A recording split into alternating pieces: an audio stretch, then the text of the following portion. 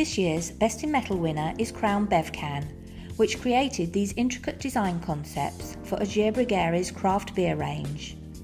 Each can utilises Crown's 360 end, the world's first full aperture for two-piece beverage cans, allowing beer drinkers to completely remove the can's lid and enjoy the full aroma and taste of craft beer from the can.